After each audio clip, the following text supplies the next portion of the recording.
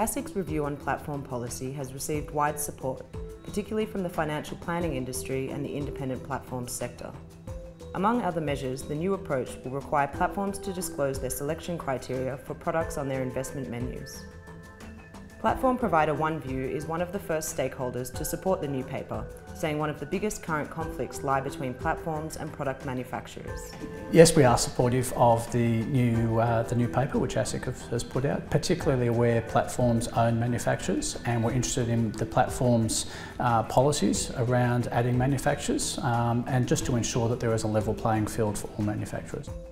ASIC also anticipates more investors will seek to make direct investments without financial advice.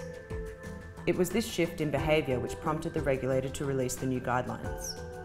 Brett Marsh believes this would create opportunities for both investors and advisors. There's already around half of self-managed super funds now, which is really the biggest part of our retirement savings market.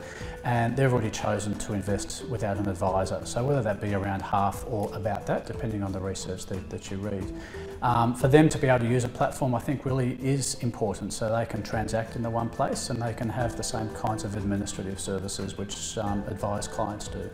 Um, and for advisors, this also represents an opportunity because it gets them into a structured approach to investment. And these investors are going to need limited advice from time to time. And we think advisors should see that as an opportunity rather than a threat.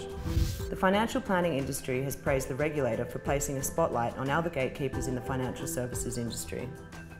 Big players in the platforms market, such as BT, AMP, Colonial First State and ANZ have not yet come up with their response.